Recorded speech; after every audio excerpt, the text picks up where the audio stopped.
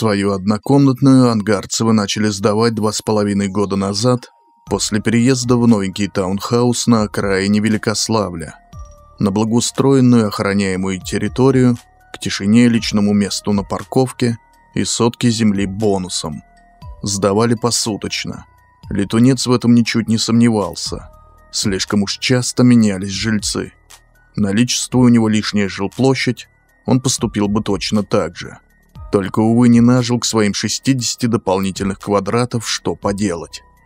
А так бы с большим удовольствием уделял время этой маленькой коммерции, ибо почти центр города, пусть и не крупного, но весьма и весьма привлекательного в историческом плане. Спальный район достопримечательности 5 минут прогулочным шагом. Инфраструктуры тоже в достатке. Трехэтажный кирпичный дом, имевший до революции статус доходный, несмотря на свой почтенный возраст, был крепким и чистым. К тому же удостоившимся капремонтов позапрошлом году. С конца апреля по начало октября турист посещал Великославль плотно, без перебоев.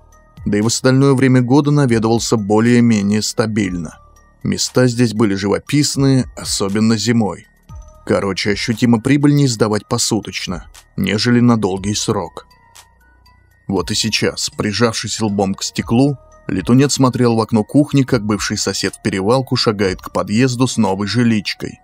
Рядом с Павлом Олеговичем, похожим на носорога с пушкинскими бакенбардами и внушительной трудовой мозолью, женская фигурка смотрелась удивительно хрупко, как фарфоровая балерина рядом с Ванькой-встанькой. Наметанный глаз художника машинально раскладывал по полочкам внешность незнакомки. Греческий нос, маленький пухлогубый рот в розово-коричневой помаде – округлый подбородок с ямочкой. Глаза женщина прятала за большими солнцезащитными очками, из-под темно-зеленого берета на лоб выбилась пушистая прядка цвета меди. В тон головному убору было все остальное.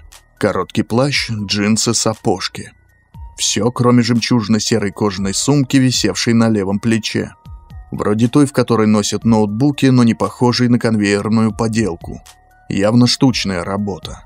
Длинный широкий ремень был украшен черными, незнакомыми летунцу знаками. Что-то вроде сочетания грузинского алфавита с кельтскими узорами. Напоследок он отметил легкую сутулость и такую же хромоту женщины. И вторая неожиданно подсекла, поволокла из глубины памяти смутное узнавание. Летунец потерся лбом о стекло, пытаясь вспомнить, где и когда он видел эту или похожую походку. Что-то мешало, не складывалось в цельную картинку, словно было чужим, лишним. Не вспомнил. Пара вошла в подъезд. Летунец оторвался от стекла, но остался стоять, глядя на опустевший двор. Медленно поднял культю на уровень глаз так, чтобы кончики воображаемых пальцев доставали до прозрачной поверхности. Представил, как легонько шевелит ими. Потом неспешно повел руку вниз и влево прочерчивая невидимую линию. Изо всех сил пытаясь ощутить гладкость и прохладу стекла, хоть что-то похожее на них. Не доведя несколько сантиметров до рамы, резко одернул руку и закусил губу. Спокойно. Он закрыл глаза, глуша желание стиснуть зубы сильнее, пока на языке не появится тот самый привкус. Спокойно слякать. Вторая на месте, жить можно. Птицын вообще без обеих работал. И не он один. Самовнушение помогло слабо. В придачу память в очередной раз нарисовала лицо Вовки Лоскутникова.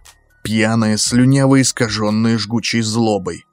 Нарисовала выпукло реально до дрожи, и по ушам хлестнул тот самый крик. «Ты мне, сука, не указывай, кто тут кто! На!» Летунец напряг культю, сжал фантомную кисть, вздрогнул. Казалось, еще Мика обрушится боль от ударов розочкой. Та самая, после которой живую послушную плоть навсегда сменяет пустота.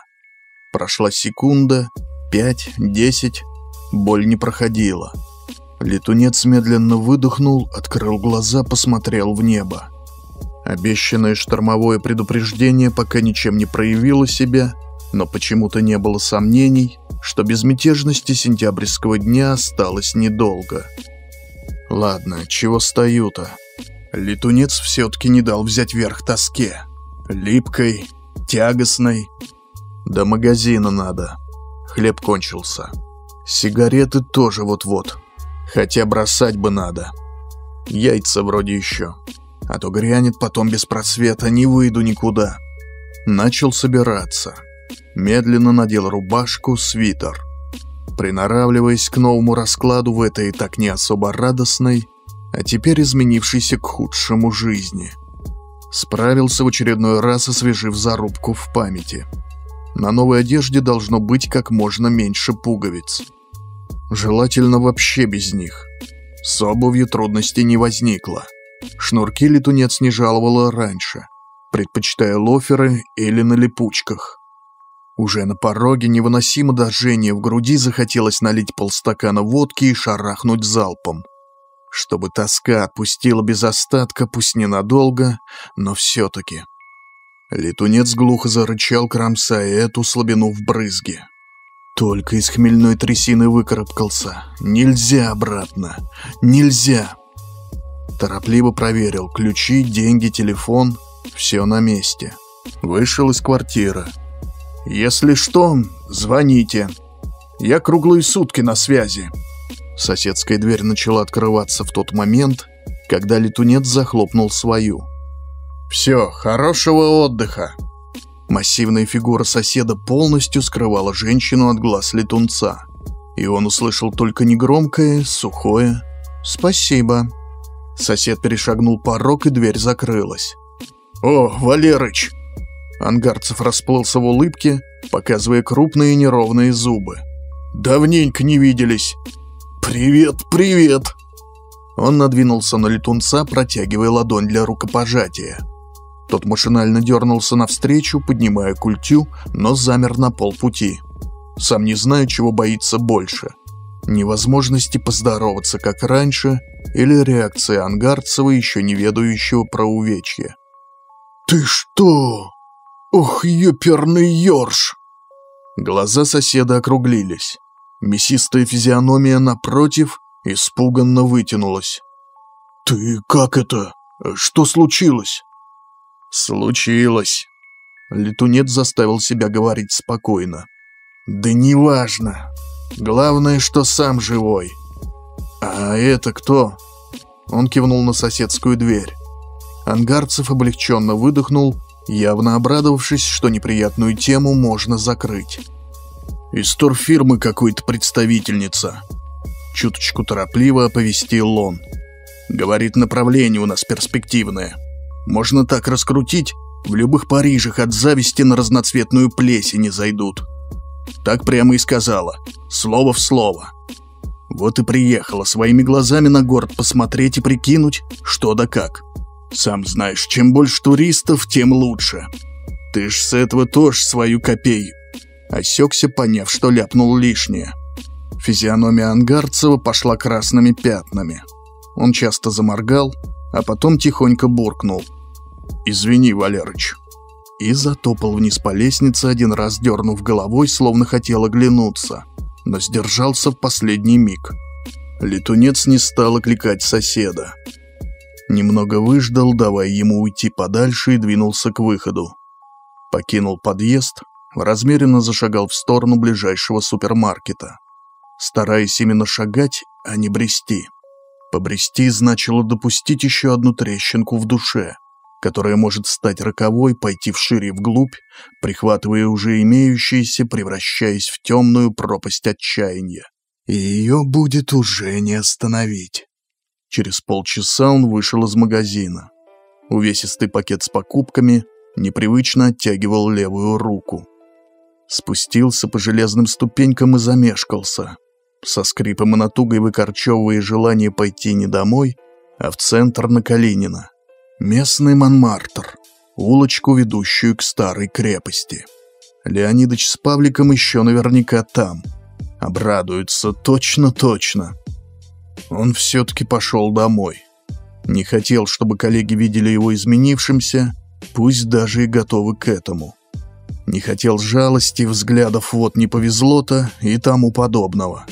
Всего, что хоть и в мизерных дозах непременно примешается к радости. Скорее всего, в ближайшее время они сами наведаются в гости, но это будет потом, не сейчас. За те несколько минут пути до подъезда летунец успел прикинуть, как будет жить дальше. Протез надо сделать. С ним все же полегче будет.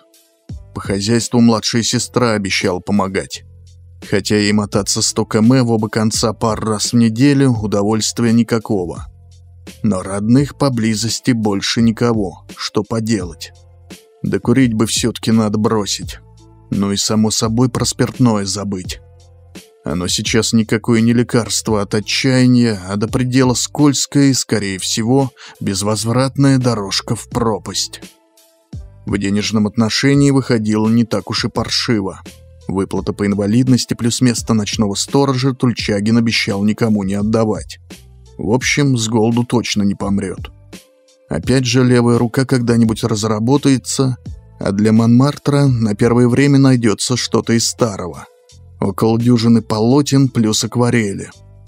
Следующая невольно мелькнувшая мысль — у инвалида покупать будут лучше. Заставила летунца сплюнуть не без отвращения. Он мгновенно задавил ее, но появившаяся брезгливость к себе не желала пропадать. Летунец поклялся больше не думать про выгоды, которые можно получить от инвалидности. С одной стороны, чему быть, того не миновать но руку все равно никакие деньги и льготы не заменят. Дома он разложил покупки по местам, разделся. Чуть помедлил, решая, стоит ли делать это или удлинить отсрочку еще на некоторое время. Все же закрепил чистый лист бумаги на планшете, сел к столу. Закрыл глаза, набираясь решимости, неторопливо катая вертя в пальцах карандаш, привыкая к новым ощущениям. Потом начал искать взглядом, что будет рисовать. Остановился на круглых настенных часах и легонько коснулся грифелем бумаги. Через десять минут он взвыл, застонал, коротко страшно. Отшвырнул карандаш, бросился к бару, вытащил из него полпустую поллитровку русской валюты, прижал культей к боку, торопливо откупорил пробку. Взвыл снова и припал к горлышку, сделал изрядный глоток. Повторил, не отрываясь. Не глядя, отбросил опустевшую бутылку и шагнул к планшету, не обращая внимания на скупой звон разбившегося стекла. Смял незаконченный рисунок, с ненавистью впечатал кулак в крышку стола. Его недавние старания стояли перед глазами, никак не желая исчезать. Кривоватые линии, неверные пропорции — Издевательская насмешка над талантом, никуда не исчезнувшим, но утратившим возможность проявить себя в полной мере. Летунец понимал частичкой сознания, лишенным злости и отчаяния, что первый раз иначе быть и не могло. Что прошло уже две недели после выписки, а карандаш он взял только сейчас. Что это шажок к победе, и надо радоваться, каким бы он ни был. Но душа требовала вернуть все и сразу без промедления. И она была неизмеримо сильнее разума. Он снова открыл бар, схватил вторую полную бутылку водки. Свернул пробку и глотнул, заглушая сумятицу внутри. «Валерка, ты, главное, за бутылку не хватайся». Перед глазами вдруг встало умоляющее лицо сестры, вытащившее его из недавнего запоя. «Я все понимаю, что нелегко будет, но не пей, ладно? Хорошего ты эта гадость еще никому не принесла. Перетерпи как-нибудь». «А если свихнусь?» — жалобно прошептал летунец. «Лучше будет». Он сделал еще два глотка и все-таки поставил бутылку на стол. Сел рядом, бездумно глядя перед собой.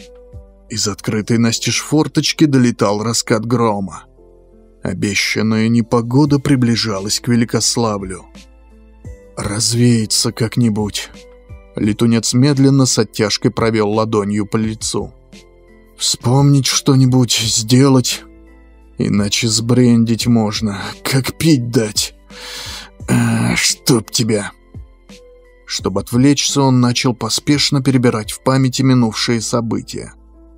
Пробуя зацепиться за что-нибудь, способное хоть ненадолго отвлечь от всего гнетущего, подталкивающего к черте, за которой хозяйничала шаткость рассудка. Вчерашнее новое на редкость скандальное шоу по телевизору? Нет. Минувший сон, похожий на средоточие абсурда. Нет. Городские пересуды. Возможный арест мэра. Большая авария в центре. Нет. Новая соседка. И он вспомнил. Вернее, сначала понял, что же оказалось лишним, мешающим узнаванию. Цвет волос и сутулость. Все встало на свои места, ребус был разгадан, четко, без шероховатостей. Новость оказалась настолько ошеломляющей, что душевный раздрай почти утих, целиком отошел на второй план. «Ох ты ж, а она здесь что делает?» «Нет, это-то понятно. На натуру, скорее всего, приехала. Но почему здесь поселилась, а не в Золотой Тройке? Или у Нахрапова? И Олегу что наврала, что из турагентства? Может, лишнего внимания не хочет?» Потому и сутулица и волосы перекрасила. Или не она? Да не, вылитая же. Еле удержал себя от порыва постучаться в соседскую дверь. Не факт, что откроют. А вдруг все-таки ошибся? Если даже она, где уверенность, что станет с ним разговаривать только потому, что он тоже художник. Такое вполне может быть. Ведь где Москва, а где Великославль? Он посмотрел в сторону соседской квартиры, собираясь с мыслями. Так, Варвара Дубравичева. Модная художница, возраст около сорока.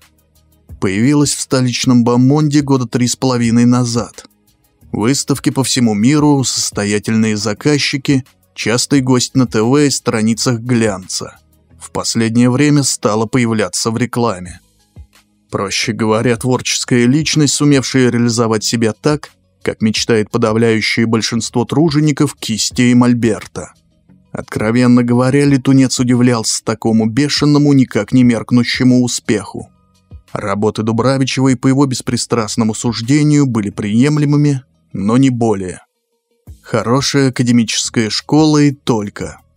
Ничего исключительного, запредельного, личной фишки, позволяющей ее полотнам выделяться из сонма других творений. Он несколько раз обсуждал феномен Дубравичевой с Павликом и Леонидычем. Сошлись на том, что стали свидетелями очередного прихотливого извива моды, напрочь неподвластного пониманию, логике и расчету. Второй вариант – покровитель с тугой мошной. Потому что супруга и семьи у Дубравичевой не было. Это не раз упоминала она сама. Других маломальски правдоподобных версий так и не возникло. Хотя головы ломали на совесть. «А что я скажу?» Угрюмо ухмыльнулся летунец. «Здрасте, не подскажете ли секрет успеха? Или подкиньте на хороший протез?» «Да нахрен я ей такой сдался?» Он даже не заметил, как в руке снова оказалась бутылка. В этот раз летунец пил до тех пор, пока в емкости не осталось чуть больше четверти. Бурлящую смесь эмоций в душе потихоньку вытесняла пустота. Она рождалась из льющейся в горло водки и обещала покой, избавление от любой горечи бытия. Долетевшие от окна звуки царапнули слух. Трескучие карканье с примесью кошачьего шипения, они звучали как единое целое. Ухо не могло зацепиться за какой-нибудь переход, стык, чтобы разделить их. Летунец поморщился, бросил поплывший взгляд в сторону окна. За стеклом в широкой щели между шторами маячил небольшой темный силуэт. Словно поняв, что на него смотрят, он коротко дернулся и, едва вернувшуюся тишину, расколол стук. Как будто в стекло тюкнули чем-то твердым и заостренным, вроде кончика ножа. Или клюва. «Ну, ты, зараза!» Летунец вернул бутылку на стол. Перья жмут. Этому дала, этому не дала. А сейчас я тебе дам. Новый стук. Птица или кто там был, словно подманивала летунца к окну. Он удивленно тряхнул головой и начал вставать. «Дурное ты создание. Ладно, напросилась. Сейчас». Ответом стали сразу два удара по стеклу. Летунец зашагал к окну, чуть пошатываясь. Форточка была приоткрыта, и, пройдя полпути до цели, он рявкнул. «А ну брысь, зараза!» Нарушитель тишины встретил рык со странным равнодушием, оставшись на месте и снова долбанув по стеклу.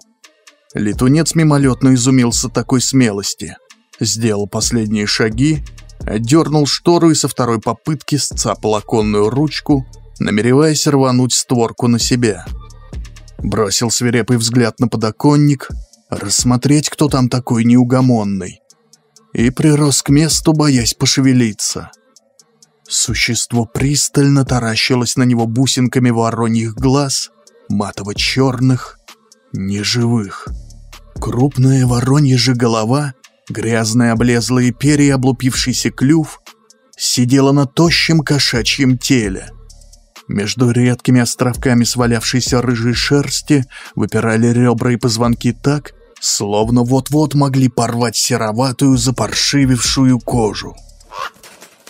Летунец медленно-медленно разжал подрагивающие пальцы и убрал ладонь с ручки, страшась случайно повернуть ее и впустить тварь в комнату. Потом также осторожно закрыл форточку. Тихонько выдохнул. «Сгинь, отродье!» В ответ существо резко выпустило багровые, негромко скрежетнувшие по стеклу когти. Несмотря на хмель, летунцу стало жутко, как никогда в жизни. На миг показалось, что когти твари процарапают стекло. Он шагнул назад, не отводя взгляда от окна. В голове была гнетущая сумрачная пустота. Он даже не пытался понять, как существо оказалось здесь и что делать дальше. Просто смотрел безропотно, позволяя страху проникнуть все глубже в душу. В стекло ударили первые капли дождя. Странные, желтоватые с примесью красного, как гной с кровью. А спустя несколько секунд дождь набрал силу и быстро скрыл тварь от летунца, покрыв стекло мутной липкой пленкой, сгустив и пришпорив страх. В комнате стало заметно темнее. За спиной что-то заскреблось. Летунец мгновенно обернулся, покрываясь холодным потом. Взгляд заметался по комнате, отыскивая... Где? Что? Поиски были недолгими. Звук доносился из нижнего отделения старенького серванта, где у летунца хранились инструменты и рыболовные снасти. Дверца часто дергалась взад-вперед, показывая снова пряча узкую с мизинец щель. «Что за чертовщина-то?» Летунец замер, не отводя глаз от серванта. Сердце легонько щекотали ледяные пальчики. «Белка, а? Или крыша поехала?» За спиной из коридора раздалось мерзкое дребезжащее хихиканье. Оно звучало снизу почти самого пола и смолкло, стоило летунцу бросить взгляд в ту сторону. Дверца тоже перестала дергаться, но летунец и не думал полностью упускать ее из вида. Развернулся так, чтобы для слежки за ней коридором хватало поворота головы. Хихиканье повторилось спустя несколько секунд, но уже выше, словно хихикающий подрос примерно на метр, или... или забрался по стене. «Заткнись, козел!» Вырвалось летунца, несмотря на страх.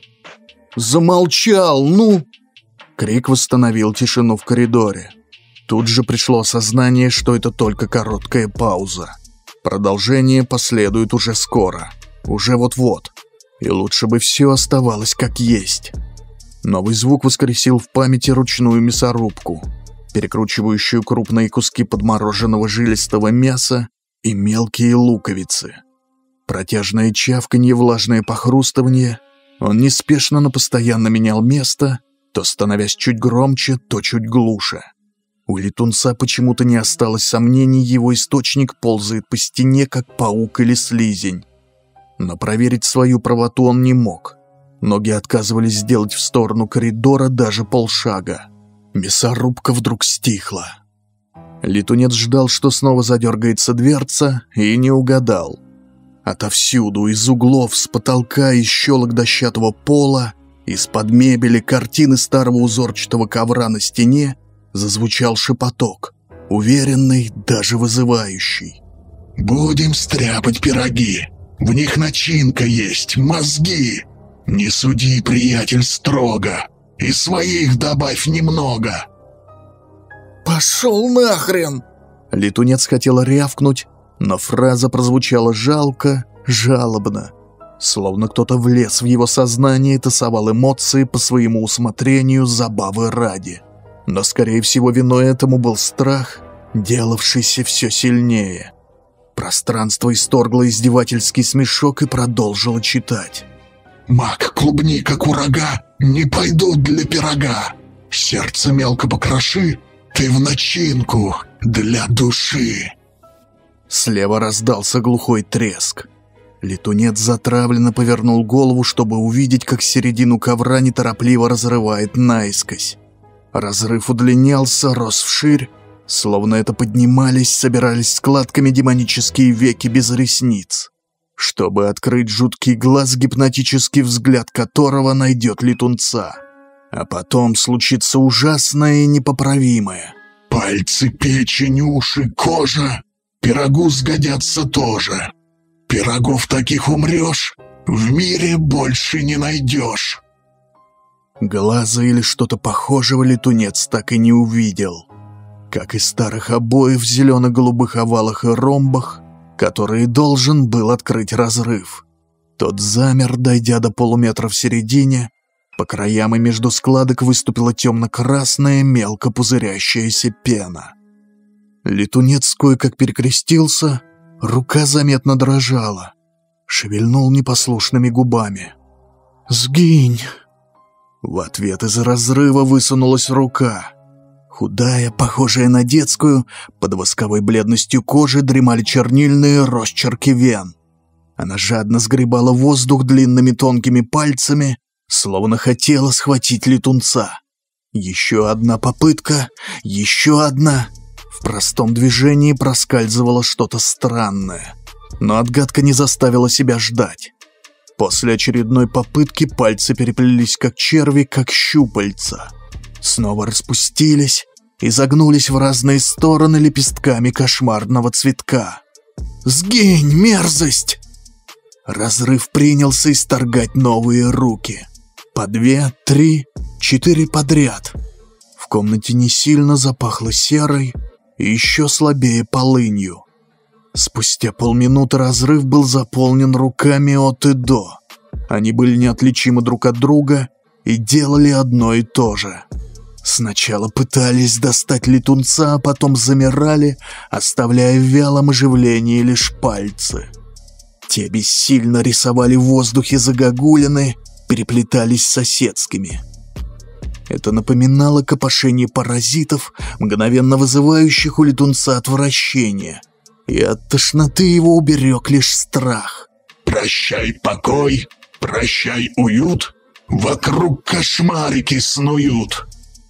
Шепот исчез, теперь пространство говорило в полный голос. Скрипучий, угрожающий. «Они пришли на целый год. Твои нужны, им кровь и пот». Дверца задергалась снова, и щели выперлось что-то вязкое, смахивающее на багровое тесто. Ей вторили цоканье когтей по стеклу и участившиеся звуки мясорубки. Трио как будто аплодировало чтецу, требуя продолжения. Летунец вздрогнул и сбивчиво зашептал молитву. В ответ зазвучало новое четверостишее. «Давай, открой пошире рот, и вмиг кошмар в него вползет. Его не сможешь проживать.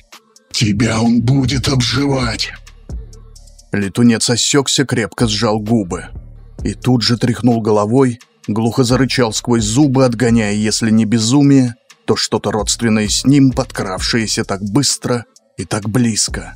Над головой словно раздавили каблуком жабу. Звучно, омерзительно. Летунец посмотрел наверх. Побелка в правом углу приобрела цвет гангренозной кожи. Повисла лохмотьями, обнажив гнилую плоть. Эта гадость медленно ползла дальше, вперед и в стороны, почему-то не залезая на стены. «За что мне это?»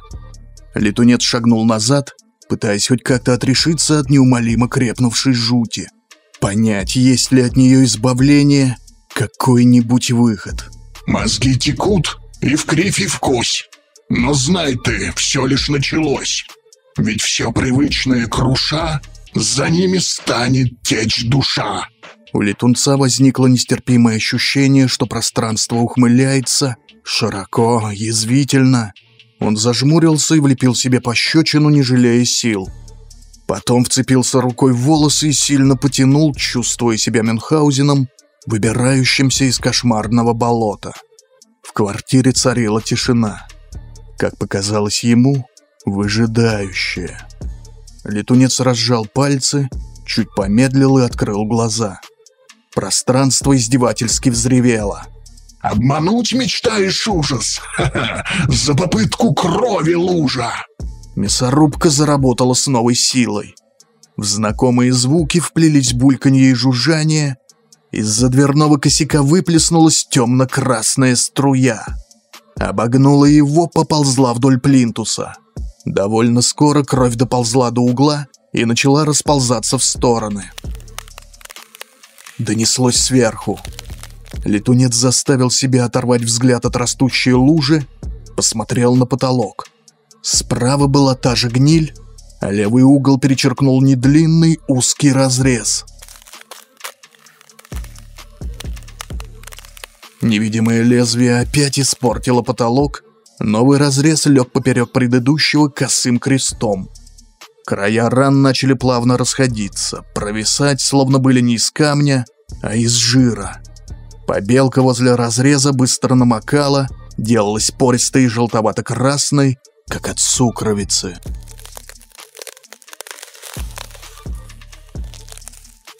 Недалеко от первого креста возникло еще два побольше и совсем неровных, ближе к буквам «Т» и «Л». Летунец оцепенело смотрел, как жуткими, сюрреалистическими лепестками растущего бутоном вниз цветка распускаются края. Страх превратил летунца в подобие куклы Вуду, беспощадно, глубоко протыкая сознание и плоть своими иглами.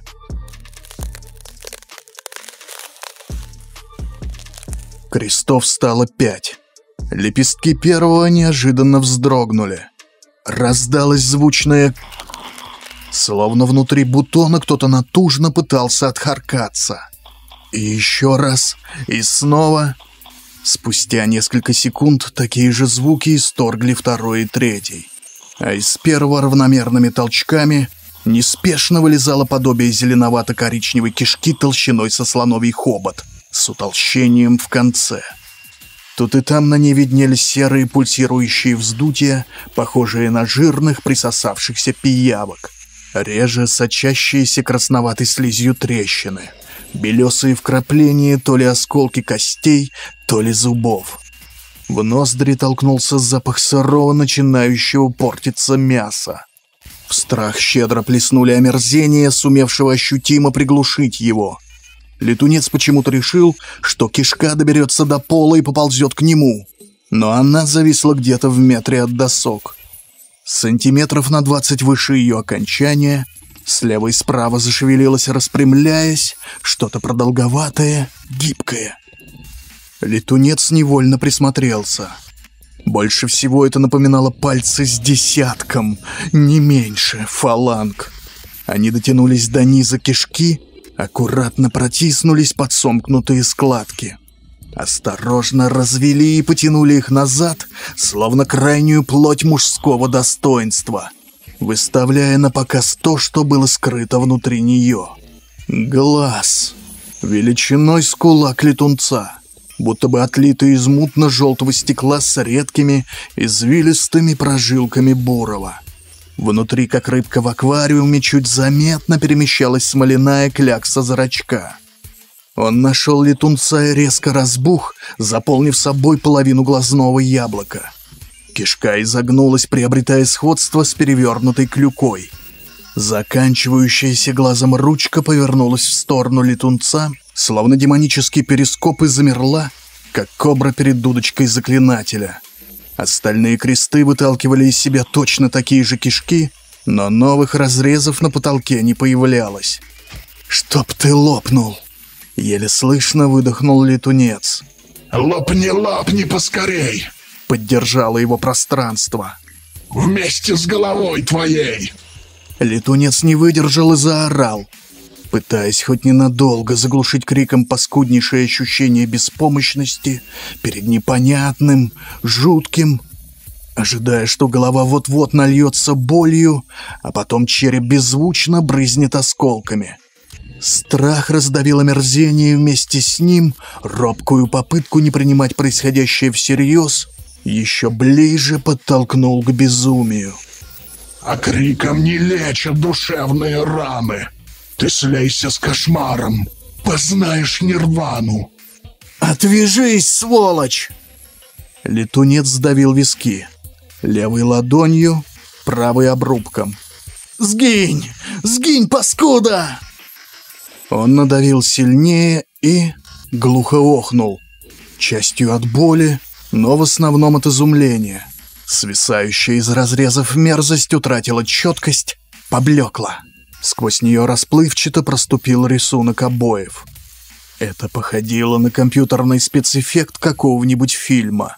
Летунец уставился на эту странность, неправильность и невольно ослабил нажим. Жуть стала прежней. Теперь на летунца смотрело три глаза. Взгляды давили. Оставшиеся кишки готовились сделать то же самое. В ногах появилась тяжесть, в мыслях вялость, в душе желание лечь на пол, свернуться калачиком. И не делать ничего, совсем ничего, позволив кошмару творить с собой все, что угодно. «Не поборите, уроды!» Летунец с трудом, но сумел перевести взгляд на кровь в углу. Хорошенько, без жалости защипнул кончик носа, скривился от боли. Лужа исчезла.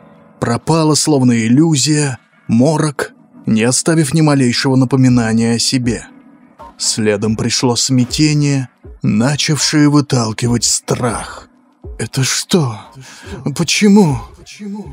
Летунец оставил нос в покое, и кошмар вернулся. «Да пропади ты!» Боль от прикушенного указательного пальца начисто вымела бесовщину из комнаты.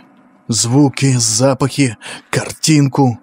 На глаза наворачивались слезы, но летунец не разжимал челюстей, пока не убедился, что морок канул в небытие. Стук дождливых капель по стеклу почти заглушил чей-то протяжный и будто бы раздосадованный вздох за спиной, но летунец услышал. Развернулся, испуганно пробежал взглядом по креслу кровати, старому торшеру, висящих на стене полотнах, пошел на второй круг.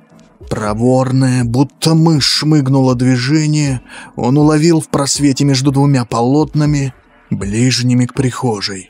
В нем явно было что-то потустороннее, пугающее не меньше сгинувшей жути. Летунец его видел, вне всяких сомнений, но не мог понять, кто его делает. Это, как и весь недавний калейдоскоп кошмара, выходило за рамки привычной реальности, но летунец почувствовал эту задачку надо решить. Она может быть ниточкой, способной привести его к пониманию всего случившегося. И вдруг осознал, сжал зубы совсем уж нещадно, чтобы понять, пропадет ли со стены рваная, угловатая тень размером с лист формата А3. Или она нечто иное, хоть и имеющее отношение к мороку. Его важный жизненный орган или даже основа. Тень не пропала. Зато также шустро поползла к прихожей, обогнула дверной косяк. Летунец мог точно сказать, ее ничего не отбрасывает. Она сама по себе. Летунец кинулся за ней, смаргивая выступившие слезы. Успел увидеть, как тень сузилась и змейкой скользнула в замочную скважину. За ней последовало еще две, которые летунец не заметил сразу. У него почему-то не было сомнений. Троица ускользнула в соседскую квартиру к Дубравичевой. Запасные ключи ангарцевых висели на гвоздике, прибитым на полметра ниже дверного глазка. Соседи оставили их давно, на всякий случай. Несколько раз надобность в них возникала. Жильцы теряли, Павел Олегович свои забывал. Летунец разжал зубы. Место двери немедленно заняло скопление ртов, рваные губы и сине-черные десна, мелкие кривые, наползающие друг на друга клыки, мутная вонючая слюна. Все как настоящие, могущие без проблем откусить вторую кисть. За спиной яростно захрустела, зачавкала мясорубка. Оборачиваться летунец не стал. Слегка растопырил подрагивающие пальцы и медленно потянулся к связке ключей, скрытой мороком. Готовый одернуть руку, если почувствует кожей не прохладный металл, а все-таки живое, опасное. Взял. Рты залязгли клыками, отчаянно и впустую. Пальцы ощутили лишь неприятный холодок, не помешавший завладеть заветной связкой. «Сейчас, сейчас все выясним». Летунец провел рукой по двери, отыскивая головку замка. «Кто, что, зачем?» Лестничная площадка выглядела нетронутой мороком. Летунец шагнул к соседской двери, беря на изготовку первый из двух ключей — длинный бабочку, даже не думая о том, что будет делать после того, как попадет в квартиру. Этажом выше раздался крик. Приглушенный, долгий и с отчетливыми нотками безумия. Пальцы ощутимо дрожали, и ключом в замочную скважину летунец попал с третьего раза. Сделал два оборота, надавил на ручку и осторожно потянул дверь на себя. Вдруг новая жиличка не заперлась на все замки. Дверь открылась. Летунец перешагнул порог, стараясь ступать как можно тише, оставив ключи в замке. Неразборчивый многоголосный шепот он услышал еще в прихожей. Летунец замер, борясь с желанием сбежать из квартиры и ждать Дубравичеву на улице. Неважно сколько. Час, десять, день или хотя бы в подъезде. Все-таки заставил себя пройти еще немного до поворота в комнату. Осторожно выглянул из-за угла. Тени неторопливо по-хозяйски ползали по стенам, потолку, мебели. Их собралось дюжины полторы, почти неотъемлемых друг от друга внешне и слегка по величине. Полное впечатление они чего-то выжидали, коротая время в движении и подобие болтовни. Летунец сделал два шага и встал на пороге комнаты, готовый мчаться отсюда без оглядки.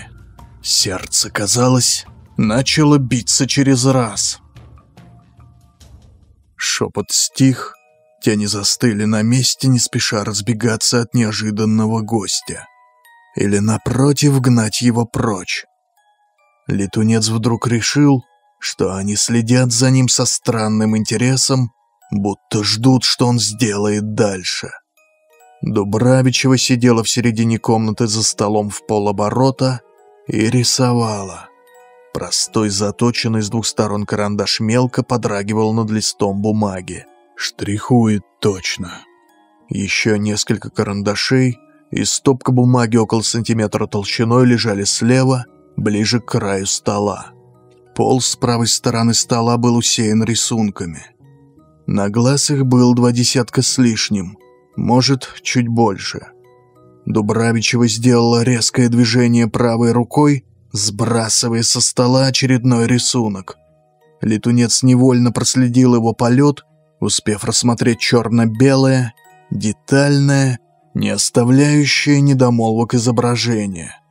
Паутина, в которой запутались человеческие руки, ноги, внутренности и головы. Одна из теней стремительно выскользнула из комнаты, словно завершение рисунка было разрешением для чего-то, сигналом к действию. Летунец скользнул взглядом по листам, лежащим поверх других.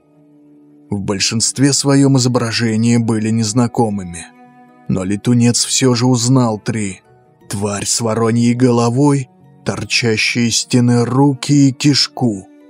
Он мгновенно сопоставил недавний крик и незнакомую по рисункам жуть. Помертвел лицом. «Не я один. Весь дом выходит. Зачем?» Дубравичева не могла не заметить его. но почему-то даже не повернула голову в сторону летунца. Не глядя, взяла новый лист из стопки и продолжила рисовать. Словно сейчас это было важнее всего. Летунец сделал к ней шажок, не выпуская из вида тени. Те остались неподвижны. И он решился. Подскочил к столу, широко махнул рукой, сметая с него бумагу и карандаши. Дубравичева продолжала рисовать, как ни в чем не бывало. Как будто здесь находилось лишь ее тело, а сознание блуждало неизвестно где. Летунец опешил, но лишь на секунду. Глухо рыкнул от проснувшейся злости, обогнул стол и схватил женщину за горло. Толкнул назад, заваливая на пол вместе со стулом, не ослабляя хватки. Высокая спинка смягчила падение. Но Дубравичева все равно ударилась головой, рыжий парик слетел почти полностью, и летунец увидел настоящие волосы, короткие, темно-русые. Руки Дубравичевой безвольно опали, она не издала ни звука. Вместо нее невольно вскрикнул летунец. Широко открытые глаза Дубравичевой выглядели сгустками тьмы. Летунец едва не поддался порыву отпустить женщину и бежать без оглядки. Но шея под ладонью была самой обычной. Тонкой и теплой, размеренно пульсировала аорта. И летунец резко сжал пальцы, выдавливая из Дубравичевой жизнь и страх из себя. Она неожиданно дернулась, словно приходя в чувство. Тьма торопливо сходила на нет, сквозь нее проступали много раз виденные на фотографиях и по телевизору светло-карие глаза. В следующий миг Дубравичева обеими руками сжала запястье летунца, колыхнулась всем телом, пробуя освободиться. Сил у нее было мало. Он мог душить ее и дальше, но не стал. Чуть разжал пальцы, ослабил давление настолько, чтобы она могла говорить. Дубравичева вдохнула, выдохнула, судорожно с хрипом. Летунец ждал, глядя ей в лицо. Тени безмолвствовали. «Ты...» Женщина сделала новый вдох, выдох. «Почему ты здесь?» «Рассказывай!» Угрожающе процедил летунец. «Что?» «Все. Про это вот». «Я ничего не понимаю». Она смотрела на летунца, не моргая, взгляд сделался жестче. «Вы знаете, кто я? Вы за это заплатите, я обещаю». Догадка ошпарила мозг. Точнее, не догадка, он просто вспомнил то, что два года назад по пьяной лавочке предложил Павлик, когда их компания в очередной раз перемывала кости Дубравичевой, и тогда был дружно поднят насмех старшими товарищами. А теперь, когда жизненный опыт летунца пополнился увиденным и пережитым в квартире, Версия Павлика уже не выглядела идиотской, невероятной. «Ты душу продала!» — зарычал он, прервав женщину. Дубравичева вмиг потеряла крепнущий напор, взгляд заметался, как показалось летунцу, обреченно, испуганно, уголки тонких губ поползли вниз. Вопрос явно попал, как выражался все тот же Павлик, в мякотку. «А это...» Летунец начал поднимать обрубок, собираясь показать им на тени. Дубравичева, похоже, истолковала жест по-своему и поспешно добавила, не дав летунцу завершить начатую фразу. «Они по-другому расплачиваться предложили». «Так?» Он кивнул на рисунки. «И так тоже». «Ах ты мразь! Я ж чуть головой не тронулся. А говоришь, бывает еще и не так? Кровью чужой платишь?» Жизнями может! Выкладывай, паскуда!» Дубравичева вдруг ощерилась. В правильных чертах лица отчетливо проступило что-то потустороннее, бесовское. Взгляд плеснул кислотой, ненавистью. «Да, да, по-всякому бывает. И я раскаиваться не собираюсь, понял? Ты кто такой, чтобы меня судить? Ты в моей шкуре был? В таком говне, как у меня, сидел?» «Нет, я не хочу своими картинами на улице торговать. Не хочу о завтрашнем дне голову ломать. Плевать, как я наверх забралась. Плевать, через чего перешагнула. Если надо, сто раз еще такое и не такое сделаю. Мне все равно, кто помогает, дьявол или нет. Лучше так, чем в петлю или спиться. Ты вон водку жрешь, вижу. Много она помогла. Толку-то от такой жизни. Сука.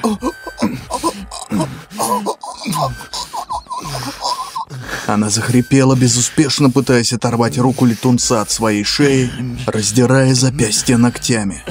Тот намертво сжал пальцы, навалился всем весом.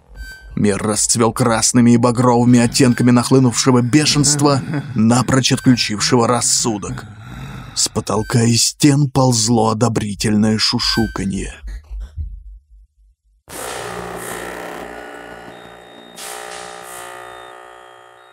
Пальцы летунец разжимал с трудом. Иногда казалось, что они закостенели или срослись с горлом задушенной им женщины, и придется отрезать ей голову, чтобы уйти из квартиры. Голоса вкрадчивые, тихие, возникли в голове, когда летунец поднялся на ноги. Держа руку перед собой, словно что-то оскверненное, ставшее вдруг чужим и вызывающим глухую неприязнь. Тени предлагали ему занять место Дубравичевой, сесть за стол и рисовать, рисовать, чтобы они могли продолжить прервавшуюся на середине пирушку, до отвала насладиться чужим страхом и безумием. Взамен обещали все, что пожелает. Славу, деньги, долголетие, скрыть совершенное им убийство. И он знал, Обещания будут исполнены в точности. Летунец положил левую руку на локтевой сгиб правой, согнул ее. Повернулся вокруг своей оси, показывая теням ответ. Опустил руки и шагнул к выходу из квартиры. Левая кисть неожиданно стала ощущаться иначе. Летунец машинально сжал и разжал пальцы, в них ожила та же уверенность, что была хорошо знакома ампутированной руке. Он остановился, разглядывая кисть, пока еще боясь впустить в душу понимание. Можно взять карандаш, кисть, что угодно и рисовать как раньше, что можно избежать долгого и изматывающего привыкания, душевных терзаний, запоев, страхов. Навык вернулся в полной мере. «Будь с нами, и все останется так», Летунец повернулся и замер, рассматривая тени. Те ждали молча и неподвижно. Но он чувствовал, времени на размышления в обрез, окончательный ответ надо дать вот-вот, секунды на секунду. И еще одного шанса ему не предоставится. Или уйти и разбираться совсем самому. Летунец закрыл глаза стараясь привести мысли в подобие порядка. Потом открыл и наклонил голову, отыскивая взглядом ближайший карандаш. Он наш.